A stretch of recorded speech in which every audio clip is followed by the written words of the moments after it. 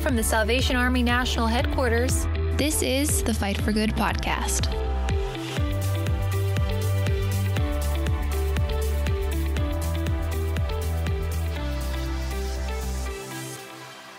Well, hi, everybody, and welcome to another episode of the Fight for Good podcast. I'm your host, Lieutenant Colonel Tim Foley, broadcasting from national headquarters of the Salvation Army in Alexandria, Virginia.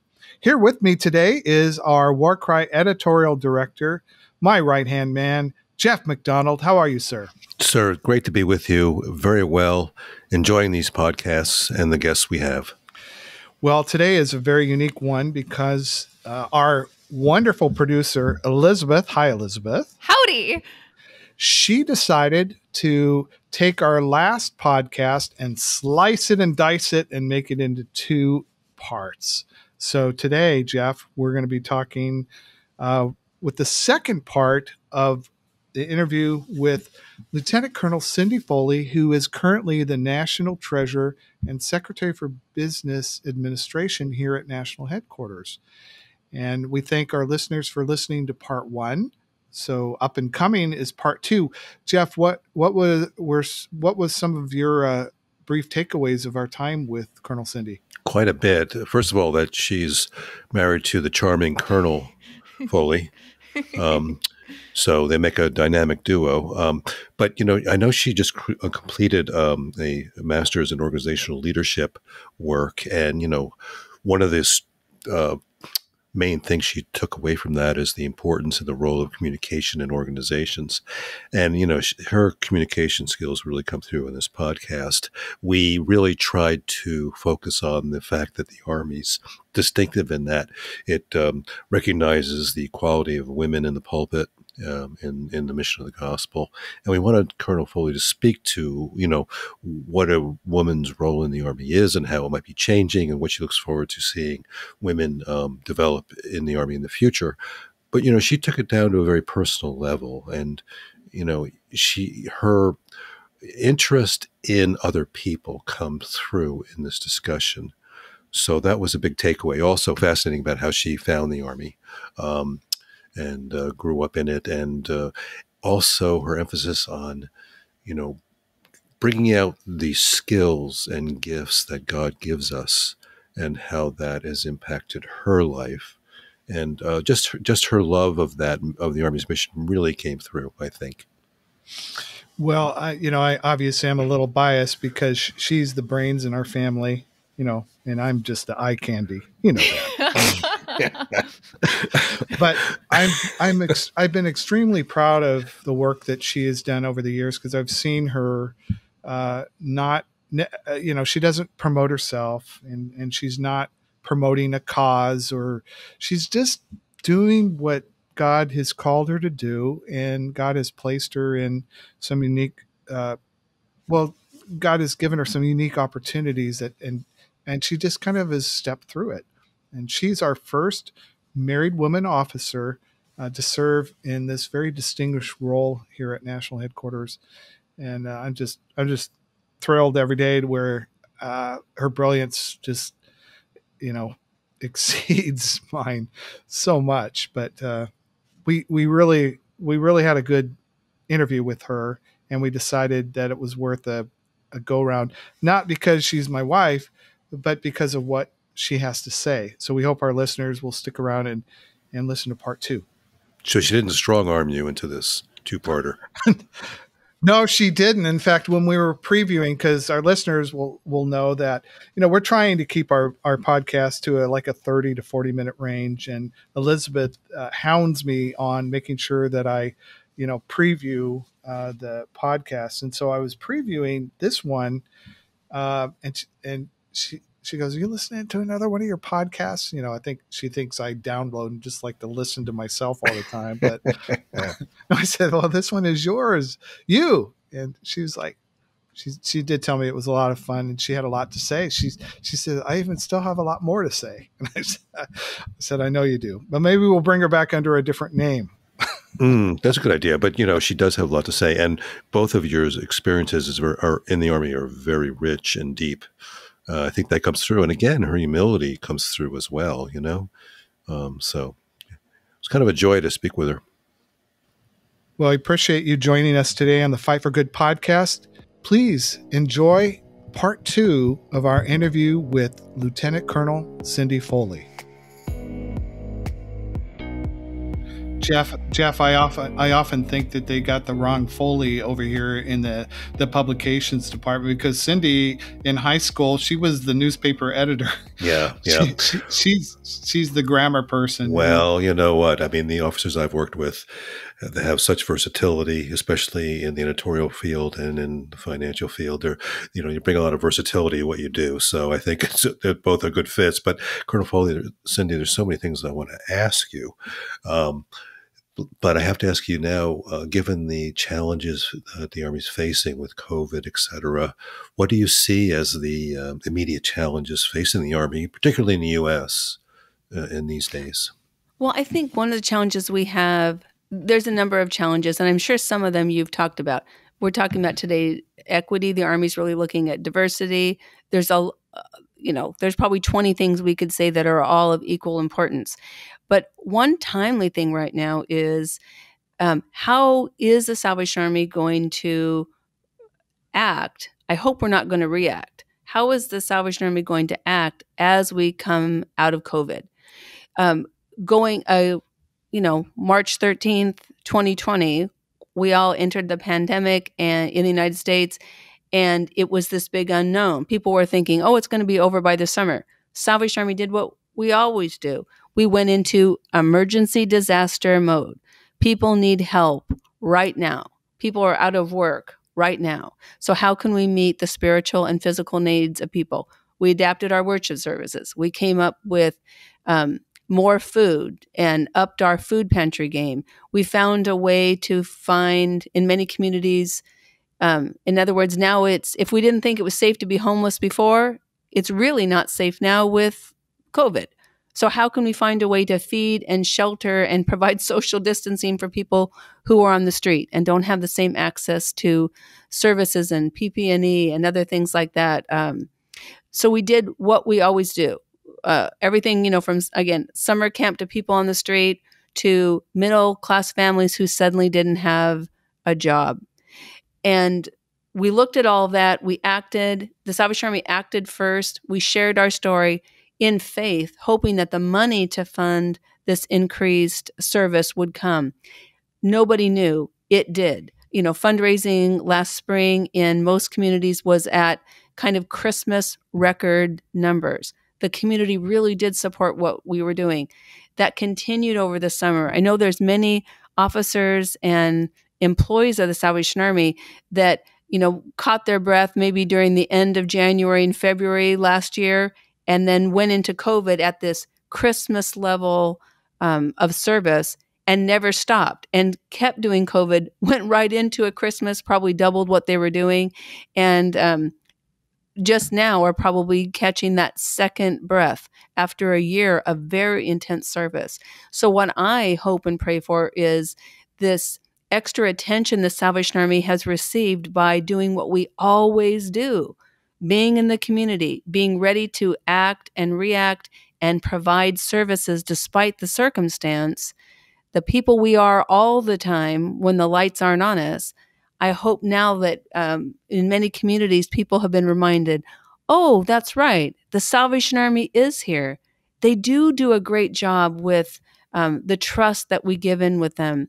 I hope we'll continue to do that, not give up this light and this spotlight that we've been given, but continue to grow the relationships that have started with COVID, continue to reach out to donors and community leaders and government leaders and business and nonprofit and other um, denominations within the Christian community. And let this be another step up that we took and continue to walk up that staircase and continue to grow our presence and our ability to, again, meet the spiritual and physical needs of people in the community from this point. We should not step back. Uh, God has blessed us in faith. He's shown us that He will provide what we need. Um, again, we need to bring more, we need to grow this army because you know the officers and soldiers and employees can't do it on their own so it's a great time to bring more people onto the team with us and while we're focusing continuing to focus on the community and to grow that um, that ability to meet need. On the other hand, we have to figure out what is church going to look like post COVID. I was actually talking to another um, Salvation Army officer about this literally last night, and I said, uh, uh, "This person's in the Pacific Northwest. What do you think uh, the life of the Salvation Army Corps is going to look like? You know, once." Once the uh, pandemic sign comes off the front door, do you think people are just going to rush back into the building? Well, if you read a lot of things right now, um, many church leaders are saying no. People have gotten really comfortable staying at their home. If you look to Europe, a lot of times we're about 20 years what's behind Europe and what's going on with the church. Um, not very many people walk into actually a religious building on a Sunday or any other day of the week in Europe. So I think this is a real a time for the Salvation Army, other churches to look like um, people need Christian fellowship, that can be done remotely. It can be done in person. It can be done through special events. Can be done on sunday or wednesday night. Um, it can be with kids or teenagers or seniors or families but i think we literally have to be talking right now and coming up again what is this plan? What will our strategy be to show people that um, religious worship and the fellowship of believers is still important? It is still a need that people have and we need to adapt that. What will people want it to be like? For corps that maybe have struggled and their congregations were were either stagnant or already declining you know if you haven't really met in person for a number of months or maybe even a year you know it's a great time to grab the leaders of that congregation even if you're just a few of you grab together and recreate yourself and the Salvation Army gives great freedom to being able to say, this is what we need to do. This is um, some of the elements in our worship that we can bring in. I hope people don't give up, um, you know, streaming their services because there's always going to be people who can't leave their home, um, shut ins and things that haven't been able to benefit from maybe the congregation that they um, most identify with. Uh, in our own congregation, we see people um, maybe who lived in this area before, but we'll get on and to our stream service on a Sunday, and there's people from Canada and Michigan and Florida and all over the place. People who have a love for the people of that congregation and still want to worship together, even though they're not um, physically located in that community anymore. So I think the Salvation Army and many churches are going to have to figure out how do we meet the needs of people right now, individuals, families, people of all ages, and find that new way. So, I mean, how many times in someone's life or the life of a church do you get to go back to that blank, brand new chalkboard? In these days, we call it that whiteboard and recreate what you're doing. Um, you know, as a congregation. So I hope people will really embrace that challenge and just be creative um, to find and I don't know, again, inspired and motivated to say, hey, we got to redo and let's talk about this. Let's go together and figure this out. Officers can't do it alone. It needs to be officers and soldiers and the key leaders of a congregation together to say, uh, this is who we are and who can we, you know, who do we want to be as a congregation and go out and make it happen and I have all faith that they can really do that in a successful way. Boy, that's um, you've given us plenty of fodder for future podcasts. It's a great subject. Thank you. We'll do follow up on that for sure. Your passion is coming through as you're sharing with us. Um, how? So I'd like to backtrack a bit and just you know think about or hear about how uh, you met the army at first, and how did you become a Salvation Army officer? So I, I can't help but wonder if maybe. Uh, my hus- my husband uh, triggered you asking that question. So I have basically the what? political answer and the non-political okay? answer. Hope that's okay. It is. It's kind of funny. Oh. So the real truth is, I met the Salvation Army when the officer's children stole my horse, and I'm from a little town in Eastern Oh, Oregon. by the little, way, I never get tired of this story. she I'm has from- a lot of stories.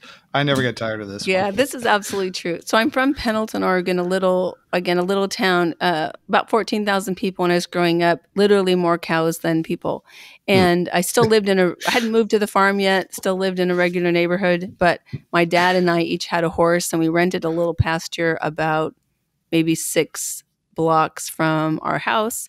And I, I was seven. You know, this is 1970, right? Uh, a very safe community. I would just walk over uh, to the pasture, uh, bridle my horse, stand on the fence, jump on him, and just ride him all over the neighborhood. And so, one of the things you do when you're seven years old in 1970 in a little town where you just have to be home by dark, um, and you don't really have any money, you ride your horse over to the bowling alley, you tie him outside, and you go inside and you watch teenagers playing pinball and bowling. And if you're really lucky, you've done some chore and you have a dime and you can get a candy from the candy machine. So one day I came out of the bowling alley. My horse was no longer tied there. I walked around the neighborhood and found him and uh, told the, the officer's children, That's my horse. And they were really smart little evangelists. They knew if they could get me to go to church with them, that they could get a prize. So uh, they maneuvered that. I quickly forgave them. We all became best friends as uh, they had just moved to the neighborhood and we would be going to school together in probably about two months. And um, that kind of started my journey with the Salvation Army. My parents didn't attend church then. Um, we moved to the farm about a year later. So my dad basically had about, you know, three full time jobs. We had a farm. We were part of the family business, and many years we had our own business besides. So um, they so I just really embraced the activities of the Salvation Army and they were really supportive. They didn't, you know, come with me, but they loved that I was so excited about Salvation Army scouting programs and things. And um, after a couple of years, they invited my dad to be part of the advisory board. And so they kind of got involved that way. And um, by the time I was in high school, my parents had come to faith. They began attending the Salvation Army when I was as their church home when I was about 17 and um, besides again serving as leaders of the local advisory board they became soldiers. And uh, by the time i became ordained as an officer at 22 my dad was kind of the head layperson what the salvation army would call the corps sergeant major of our little congregation in pendleton oregon. And my parents were um, active soldiers local officers which means leaders in the congregation and my mom even worked for free for no pay as the bookkeeper for about 15 years um, because one of my dad's businesses was located across the street from the Corps by that time. And um, I think when they eventually started paying her, I think they started at minimum wage.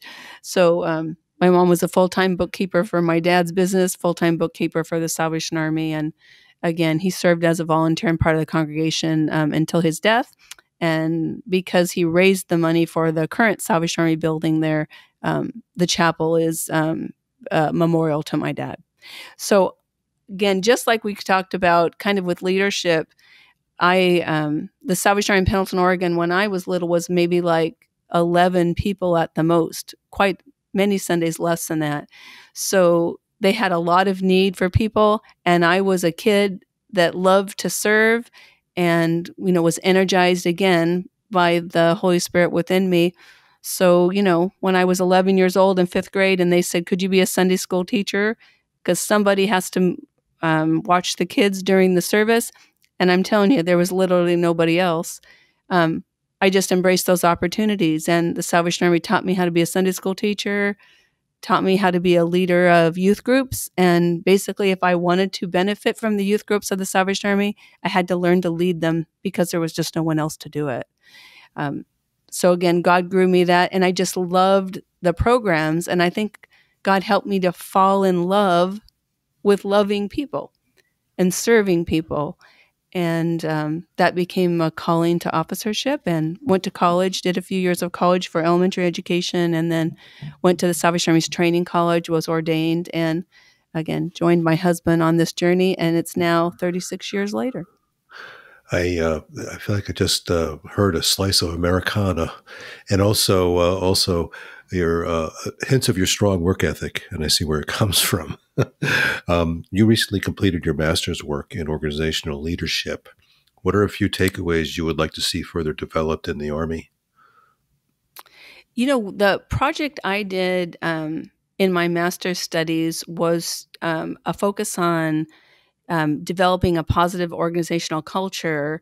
And although there's many avenues that contribute to that, um, part of what I focused on was positive communication and how improving um, communication on every level from supervisor to team member, from organizational leader to team leaders, from organizational leader to the entire organization, whether that's written, verbal, in person, via video, via branding on the walls. And as I share this, it's all going to sound familiar to, to you, Tim and Jeff, because you're going to think, oh, this that sounds familiar because we're doing that at national headquarters. Um, but I really focused on those things, and I feel like uh, when you know, no matter where somebody is, if it's in your own workplace or in maybe a volunteer organization or in your congregation, everybody and their brother can take a pen and make a list of all the things that are wrong and maybe have a couple of ideas what you could do to make them right. But part of the challenge is you can't make everything the number one priority. You have to start somewhere. And in my master's studies as well, as I looked at all the opportunities um, and all the things that go into building a positive organizational culture and how that would benefit people again by educating, inspiring, motivating, and resourcing people to be able to do the mission of the organization, regardless of what that organization is. One of the things I felt is where you can make a quick change in many times with with little or no money was by focusing on communication. So we've taken um, what I studied and the aspects of my project, and we've increased at national headquarters our ability to communicate with each other. Some of it's still under construction, but some of the things that we have done to put um, these communication principles into practice was to have branding and um, throughout the building. So we're reminding people if you're just walking down the hall to the dining room, you'll be reminded what is our mission, what we're doing about it. You might be the person who writes the check or the person that writes an email or uh, produces a podcast or creates a digital image, but you contribute to the fact that a child is given a coat on a winter day in Detroit, Michigan, or a homeless person has a warm bed and a warm meal in um, Cheyenne, Wyoming. And regardless, again, of the organization or people's roles, they have to be reminded what they're doing makes a difference. You have to be reminded what is the organization doing and feel like you know what's going on and why decisions are being made. So, again, we found creative ways to do that from um, meetings in the middle where our national commander or visiting guests or other leaders in our organization can literally stand in a, a staircase and share information with everybody who's in the building employees, officers, guests that might happen to be there that day. We have video screens that share the story of our work and our mission across the United States on two different floors. You can see what's going on if you happen to walk by. We are um, we did communication training to remind and train and equip supervisors to better communicate with the people on their team. Um, so, again, whether it's in writing or verbal or through digital means, communication is a key that makes a quick change about how the organization moves and how team members at all levels of administration um, know where they fit into the whole organization and how they can develop themselves, develop their team, and develop the organization. So that's a really exciting topic for me. Team building and all the other things is important as well, but um, finding ways to have positive communication in any organization is a quick way to make a positive change in your culture. Wow, yeah, there's uh, you've you've hit on a lot of subjects for us, and it's uh, really insightful. You know, that communication I, I noticed too is becoming more of a two way street, not just from top down leadership, but it's uh, opening up channels throughout the organization, especially at national headquarters for for dialogue, and I guess it develops a, uh, a commonality and a, a morale booster to do so. It is, you know, one of the things I love about uh, communication is that, like as we said, in essence, it's free, and in America, I think for the most part, we'd think it's it's our right, and most most organizations now, I think, are trying to find ways to give a voice to everyone throughout the organization, and it's so easy. Again, you don't have to be a senior supervisor where you are. Um, you you can share your opinion in an appropriate manner and you can find ways to listen and to enable other people to share their opinion. I'll give you an example. One of the things I personally have to work on is I think fast, I talk fast, I can um, assimilate a lot of information quickly. Again, kind of figure out okay, this is a situation, this is all the factors. Where do we need to go? How does this fit into our overall strategy? Here's the steps one, two, three. Okay, these are the people that could do that this is the person that could write this up. This is how we could announce it and share it. Here's the plan. Okay, let's go. So I'm, you know, if I'm sitting at a board table or even at a lunch table, I can quickly go through all of those steps. But what I found as a leader is I think and reason and process quickly, but not everybody in the team or everyone around the table does. So, one of my biggest challenges as a leader is having to slow down because the best idea or the idea that might just make all the difference or make what we're doing richer and more successful could be with the person that maybe is not directly related at all, but can speak into the situation, but they have to have time to think about it. And 20 minutes from now, when we're about 10 agenda items past that, they have the information and the idea that's going to spark um, better success or ultimate success of what we were talking about. So, communication even involves that listening and waiting or learning to come back to something like finding ways to invite everybody into the conversation in the way that they're best wired to participate. You're going to make so, me cry. Yeah, there's so many elements to that, but it's and it's exciting and you know what it doesn't go right all the time. But that's also the great thing about communication if we're really focusing on it and developing it, then you know, everything goes wrong at some point, right? No journey is straight. So, you know what? If we hit a crick in the road or we took a misstep, if we're all talking about it and sharing, and everybody feels like they can do that, and they'll step out of their own fear and do it, well, then we can we can correct our course as we go along. And again, ultimately, not only will we reach that destination, in reality, we'll probably surpass it, and everybody's going to be better for the journey because we all were transformed and changed and enabled, again, I believe, by the Holy Spirit as we work together towards that goal.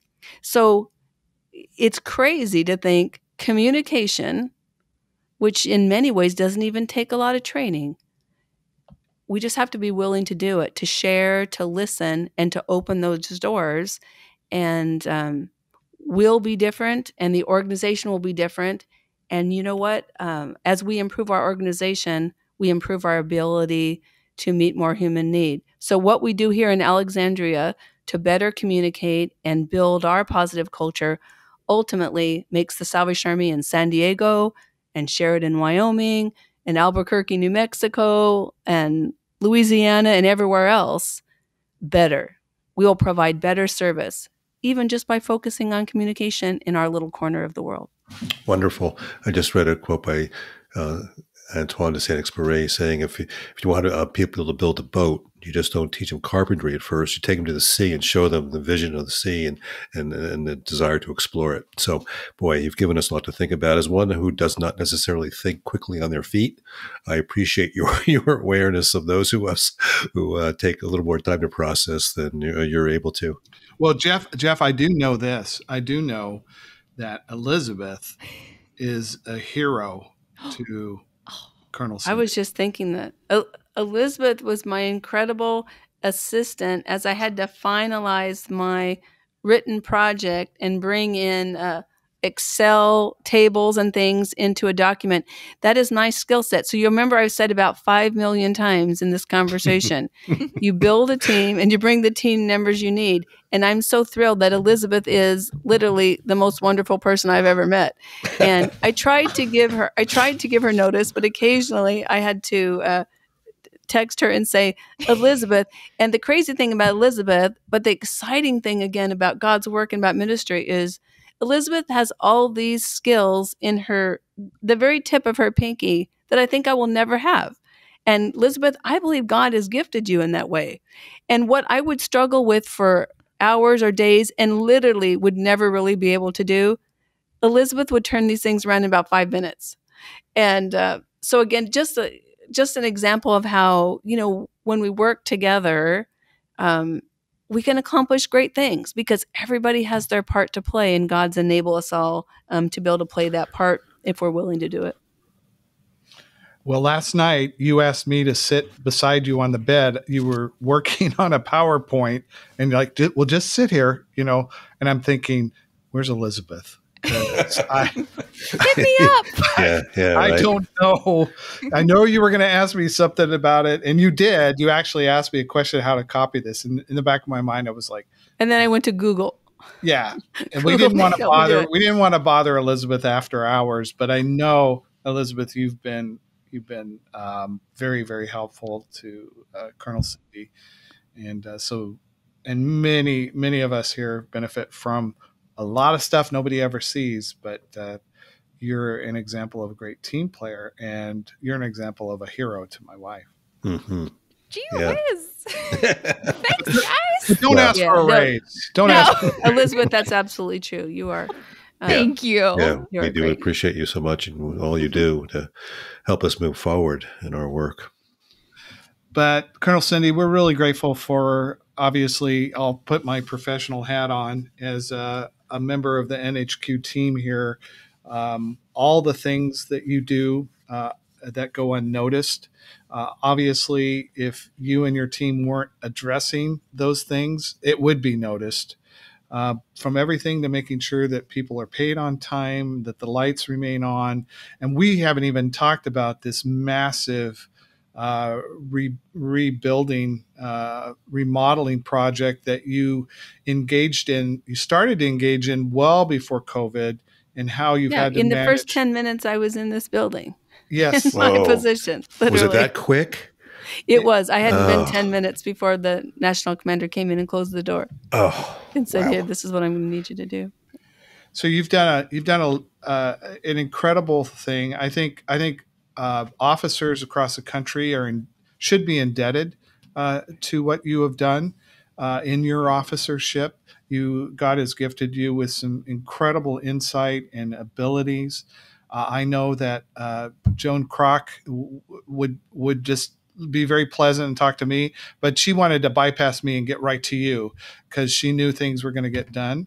Um, and I I just see that you have a lot to say and a lot to speak into the current uh, Salvation Army administration internationally and nationally, as well as giving hope.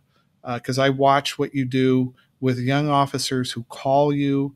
Uh, I watched that last night. A young officer calling you for for advice and the mentoring that you do.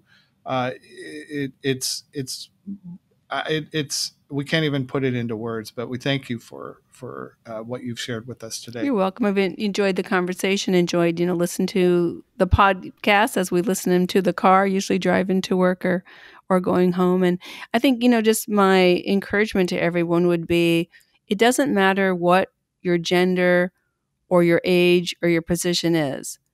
God is enabling each one of us to make a difference in the world right around us. And all he's asking is for us to be willing. And if we accept his guidance and um, the resources he will give us, he literally will enable us um, to make a change. And the exciting thing about you know that kind of journey with God is not only do we make a difference in people and circumstances around us, but God changes us at the same time.